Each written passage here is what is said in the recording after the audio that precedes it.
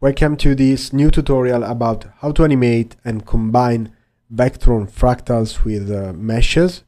So we will need Octane, Render and Cinema 4D and also a closed mesh like this one or there's many for free online and then we will need to download this animated value script for Octane standalone. So let's start. I'm going to import uh, this closed mesh. Here we go.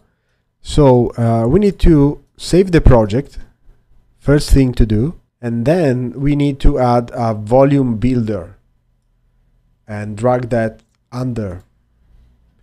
So as you can see, the mesh has been uh, voxelized, but the detail is too low. So decrease the voxel size to one and play with that until you are happy. Maybe 0.5 is fine.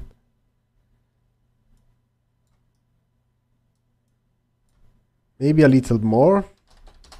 You can go down even more if you want, but it's going to be uh, slower. So play with this a bit. Okay, that's fine. So now select everything here and press C. Now it's an object and we can save it. So venere uh, dot vdb and hit save. Now we should have a, a vol folder and venere.vdb. Now we need to open this in uh, Octane standalone. You can use this uh, preset from Vectron Boole pack, so just open that. Click on the render target. Then we need to replace this volume SDF uh, school with the uh, statue. So just open that and there's something strange here. So you can just uh, change the way we combine the fractal with the SDF just to visualize uh, both. So you can go in Vectron operators here and hit union. So we can see that we have both objects. Also here's the, there's a crop and that's because we have to increase the bounds like that just a bit. You can change the Octane kernel to info channel and normal. So we, we can actually see what's going on. Let's position the fractal a bit.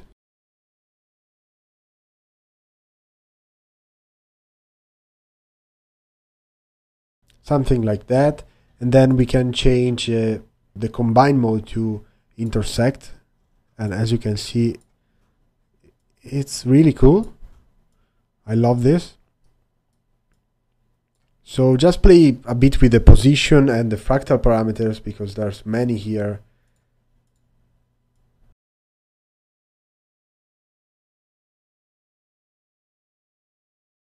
So let's say we are happy with this one, but take your time to play with the fractal and also it takes a bit of time to get it uh, looking good.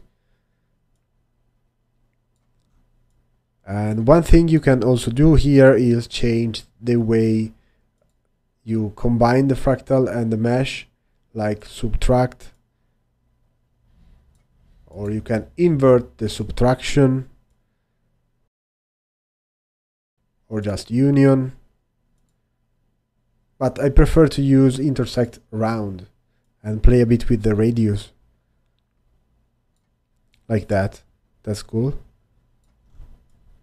Now we need to animate the fractal parameter.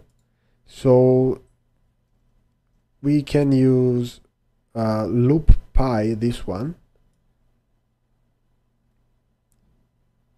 which loops uh, every one. So at zero is equal to when it's one, but we need to animate that. So we can use the script, scripted graph,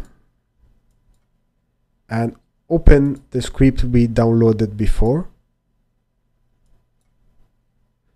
And now just connect that to the loop pi and you will see the timeline. Nothing happens, that's fine. We need to enter the start value which is 0 and the end is 1 and then time in second is fine, 10 second is fine but then we need to set that to set the FPS to 30 and you will see that it's now animated and also looping. Perfect. Then we can go back to path tracing or direct light and check the shading of this. I've included a few materials here if you want to play with those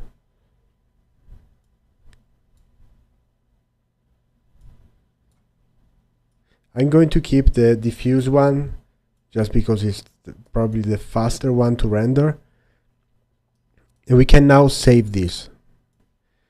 Then we can actually close Octane and import that to Cinema 4D. So import